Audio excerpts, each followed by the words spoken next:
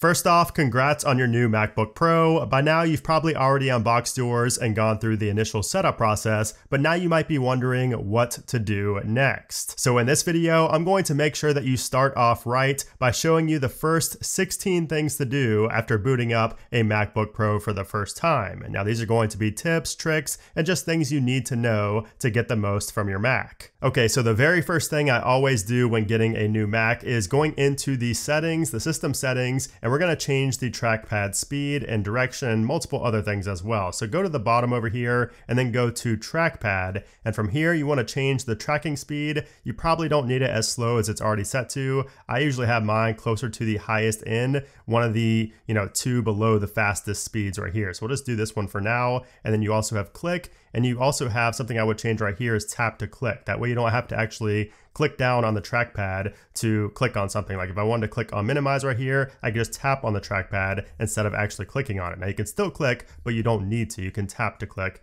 as well, which is really nice. And then going over to scroll and zoom, I always turn off natural scrolling. Now this is gonna be, you know, highly debated. I like actually scrolling in the direction that I am moving my fingers. So you may or may not want that, but you can change that right there, along with all of these other settings right here, which I leave as default, and then go over to more gestures or something I wanna change over here as well. And that setting is app expose. So this is off by default, but I like having this set to swipe down with three fingers. That way, if I swipe down with three fingers, I can see the different windows. I especially use this for web browsing, so I usually have multiple windows open. So if I swipe down with three fingers, I can see my windows very easily and tap on one of those windows that I want to open. And then the final trackpad setting I like to change right away is inside of accessibility. So if we go up to our accessibility settings and then down to pointer control and then to trackpad options, I like to have use trackpad for dragging and change the dragging style to a three finger drag. So what that does is if I open up, let's just say a finder window right here,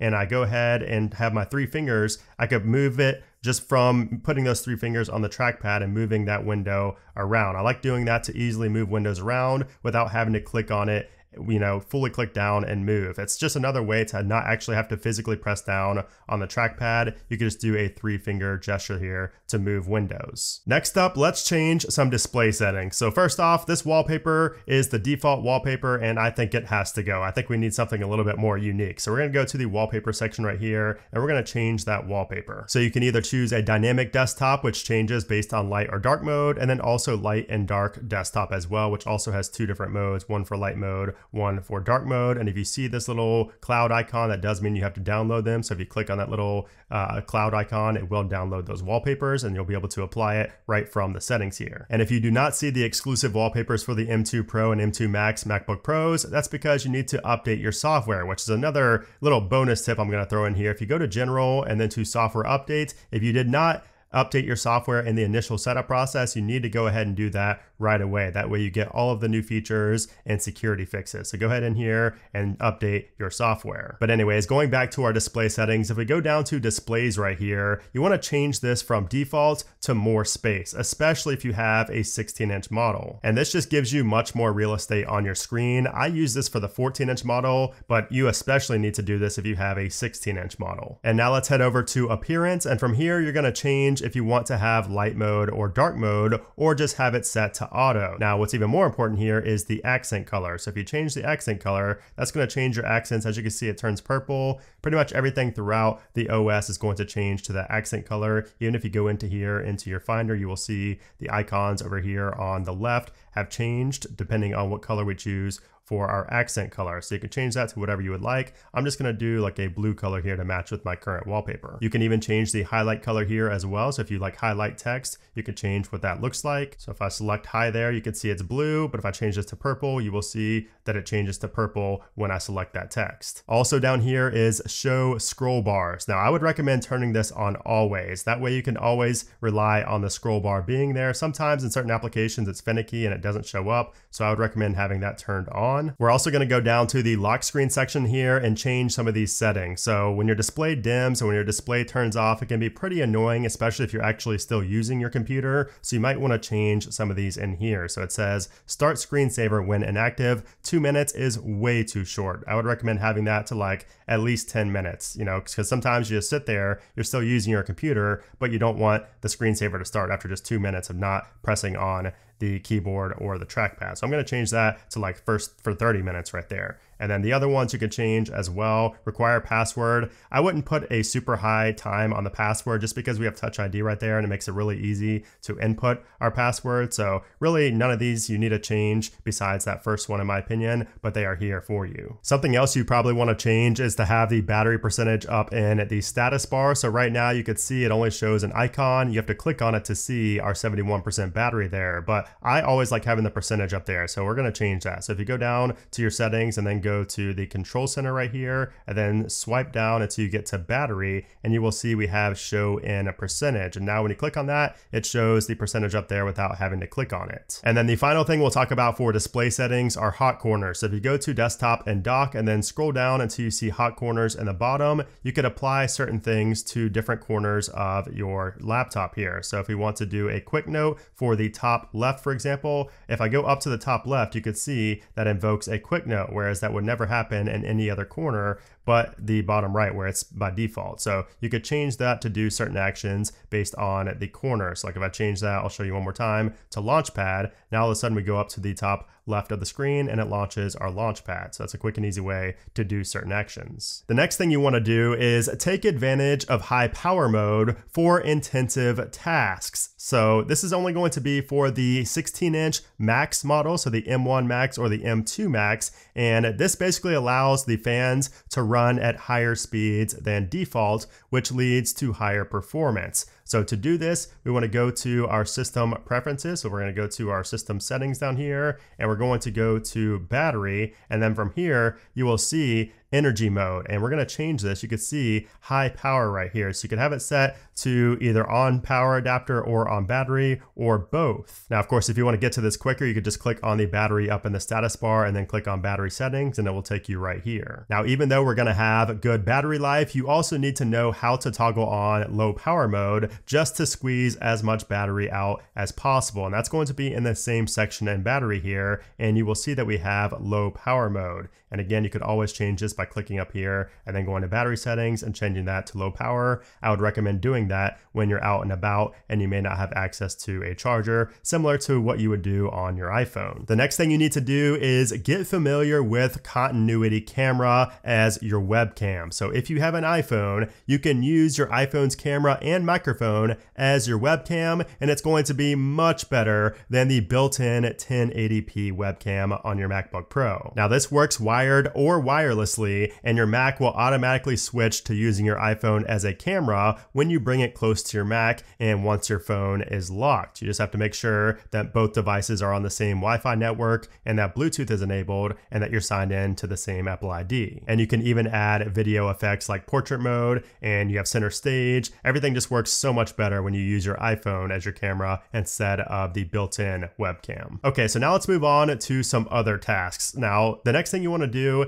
is know about the spacebar. The spacebar is very powerful on the Mac, and what you can do if you see a file in Finder is you can tap on the spacebar to see a preview of that file. As you can see here, I see a preview of it. Now you could just simply press and then press again to remove that preview or just go away from that preview, or you could hold the spacebar to view it, and then right once you let go, it will go away. I use the spacebar all the time to see the file size of certain applications. So if you go to an application or a file and you press on the spacebar, you can see the size of that specific file, which comes in handy all the time. Also in Finder, I don't like this view personally, so I like to go to the list view. So if you click on this right here, it will show all of these icons, all of these files as a list view. And you could also change what shows right here. So it only shows name, kind, and date last opened, but I always like to see how much space everything is taking up. So if we double click right here, right click right here, if you just put two fingers down on the trackpad and click in, you can change what is shown here. So I like to add size, so that way the size is right here. You could also move this. So if we drag this over,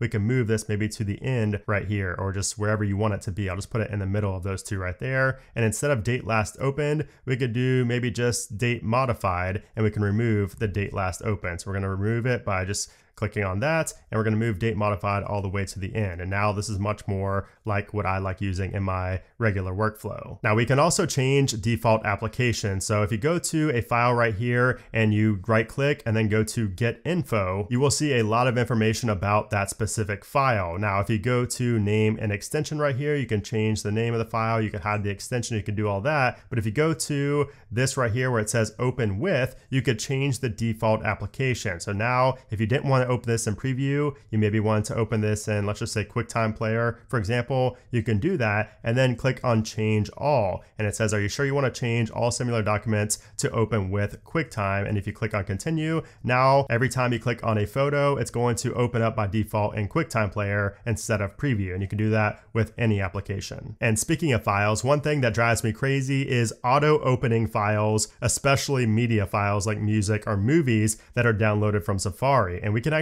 change that so they don't automatically open up the iTunes or the music application. So if you go to your Safari right here and click on it up in the menu bar and then go to settings, you will see at the very bottom here we have open safe files after downloading. You want to turn that off. That way the safe files do not open after you download them. The next thing you want to do is configure your iMessage and FaceTime settings. So I don't know about you guys, but I really do not like having my computer ring on FaceTime every time my phone gets a FaceTime call. I only like having FaceTime calls go on my phone and not my computer. Now, iMessages, I don't mind as much, but I still like turning it off for certain emails and especially for my phone number. So let's go into messages first, and you're going to go to messages up top and then go to settings and then go to iMessage. And from here, you will see you can be reached for messages at, and I would recommend turning off your phone number unless you like sending messages from your Mac. That's different, then obviously keep that there. But me personally, I only like having like a certain email on my computer when it comes to iMessage. So you can change all of that right there. You could also enable or disable messages in iCloud where it backs up your messages. And then let's go over to FaceTime right here. And this is one that I really just don't like having turned on. You can see we do get the little splash screen here for continuity camera, which we did already talk about. So we're gonna go to FaceTime up top and then go to settings. And then we're just gonna remove all of these different emails and phone numbers that I don't want coming to my computer. And especially this one right here, calls from iPhone. I don't like having calls from my iPhone coming right here. So you could change that as well. Okay, so the next thing you need to do is use Spotlight Search for literally everything for opening applications, for searching Google, searching files, doing math problems, pretty much everything. So to invoke this very easily, of course, you can press right up here on the little search bar up in the address bar right here, up in the menu bar. You can press on that, but a quicker and easier way to do that is just press Command Space Bar. So just get used to pressing Command Space Bar no matter what application you're in or wherever you're at. You could always press Command Space Bar and it will pull up the Spotlight search right here and you could type in whatever you want. So if I wanted to open up maps, I could type in maps and then press on return and it will open up maps right away. So like I said, this is the quickest and easiest way to open up applications or to search for Google. So if I search, you know, uh, when is the next full moon?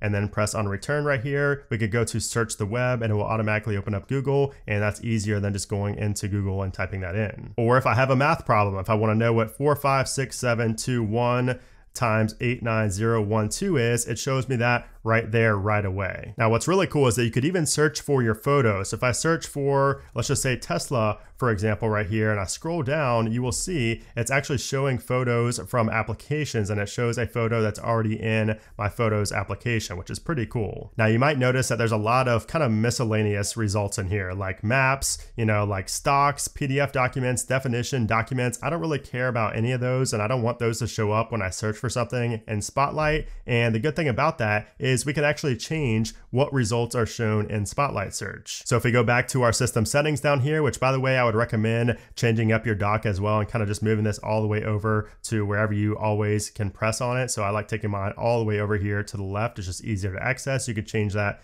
to wherever you would like. But once you're in here, you want to go down to the Siri and Spotlight right here. And from here, you can change what is shown in your search results. Like for example, I don't like, for sure, definitely not definition and you could turn off different things like you know fonts i don't want to search for fonts i don't want to search for presentations and you can just kind of change all of these in here that way you don't have as much clutter when you search for something via spotlight search okay so moving these system settings and the dock reminded me that the next thing we need to do is organize organize and customize both the dock and the desktop. So first off, let's get rid of some of these things on the dock that we just simply do not need. There are too many applications down here that it's overwhelming. So for contacts, for example, I'm gonna right click here, go to options, and we're going to remove that from the dock. And we're gonna do the same for everything we just don't use. Like for all these things, I just simply do not use, at least on my Mac. Like podcasts, I never use on my Mac all these different things down here you can remove. Now you can also add applications to the dock very easily as well. So when you open up an application, it will show in this section to the right of your dock. All you have to do is drag it over to your dock and then it will permanently be in there. Something else you might want to change is the orientation and the size of the dock. So if you right click on the dock and then go to dock settings, you could change things in here very easily. So you could change the size of the dock. You can make it really small or really large, whatever you would like to have right there. You could also have magnification. So if you turn the magnification application on, you can go ahead and see these applications closer up. So that way, if you have a small dock, you could see what you're about to open up, you know, if you have magnification turned on. So we're going to turn that down a little bit and make this a little bit smaller. Now you also have the position on screen, so you could change this to the left or the right of your screen if you would like to. And then you have a lot of other settings in here that you can go ahead and change. I would just recommend going in there and changing whatever you like. Now something else that's not really showing right now because I don't have a lot on my desktop, I'm gonna add a few things to the desktop just so you guys can see this. So we're gonna move these to my desktop just so I could show you that when you start getting files on your desktop, it can look really cluttered and really ugly. So we're gonna change that. So we're gonna right click on the desktop here and we're going to use stacks. So when you click on use stacks, you will notice that if I had three screenshots there, it's gonna take them all and put them into one icon called screenshots. And if you click on that, it will kind of expand that view. So this just takes similar files and puts them into stacks for organization. Now you could also group these stacks by certain things as well. So if you go back here and group stacks by, you could group them by different things. So kind is what it's set to default for, but you could also do it by any of these that you have selected right here. Now, while we're here, I also like to go to show view options because I do like having my icon size smaller than 64 by 64. I usually like having it set to like 32 or 36 you know, pretty small. That way it's just not standing out and not looking so ugly on my desktop, but you could change that to whatever you would like right there. You could also change the grid spacing, which is how much, you know, space you have right there. You could change the text size, the label position, and show icons and show item info or not. You might also want to customize this top bar right here. So you can see we have our battery, our quick time, all of that. But if you go into the control center right here, you can actually drag certain things. So if you wanted focus to be up in your status bar and you didn't want to have to click into the control center to get to it, you could just drag this over right here. And then all of a sudden we have that right there in the menu bar. And it does not take it away from control center. It just kind of adds it to the menu bar right here. And you can do that for pretty much all of these. The next thing you want to do is set up Touch ID for more than one finger. I would highly recommend having at least a couple of fingers added in there, one for each hand, at least one for each hand. So I personally like using my middle finger. I don't know, I just find it easier to, to you know, kind of put on the sensor right there. So I'm gonna add a fingerprint here and you will have to put in your passcode, but you will go ahead and add this fingerprint. So I'm gonna use my middle finger this time because I did my index finger to start with, but it's always good to have at least one finger added in here, or at least two fingers added in here, one from each hand for Touch ID. And if you have an Apple Watch, I would highly recommend having Apple Watch turned on. That way, anytime your Apple Watch is on your wrist, it will unlock your Mac without you having to put in a passcode whatsoever. The next thing we're gonna do is go into settings and go to our Apple ID section at the top, and we're gonna go to iCloud. And from here, we're going to turn off iCloud Drive. So we're gonna just simply turn this off because we don't want all of that data taking up storage from our iCloud plan. So I, even though I have a two terabyte plan, you know, putting all of my documents, all my screenshots, all my screen recordings onto my iCloud Drive is just a waste of space in my opinion. And I would recommend removing that from the Mac if you need to and just turn this off in general, right? Once you get your computer, just turn this off. Trust me, it takes up a lot of space and you're probably not gonna want that space, you know, being taken up by stuff in iCloud Drive like your documents. And this is also where you should go ahead and change all of your different iCloud settings as well. So if you don't want certain things syncing with iCloud, you could turn that off right here. The next thing you need to do is understand how to quickly take a screenshot or a screen recording. So I'm currently screen recording right now, and the way I did that was I pressed Command Shift 5 and it started a screen recording right there. Now also if you press Command Shift 3, it will take a screenshot of the entire screen. So you can see we have the preview down here, and this is the screenshot that we just took with that simple combination of buttons. Now, if we press on Command Shift 4, that gives us this cursor right here where we can choose what we want to take a screenshot of. You can see there are no proportion limits or anything. You could take a certain screenshot of a certain you know page or anything on the desktop. Now that's nice, but you could also press on Command Shift 5 and that will do the recording. As I said, I'm recording right now, so I can't show you everything, but once you press Command Shift 5, you have capture entire screen, capture selected window, or capture selected portion. You can do any of those. So if you do a window, you know, if I have a window pulled up, it will only record that specific window and nothing else. Now, a trick I always like telling people about is how to access secret menus and options. So if you go into an application like anything, even just the Finder application right here, if you press on one key, that will open up a secret menu. So if you press on the option key and then right click on Finder, you will see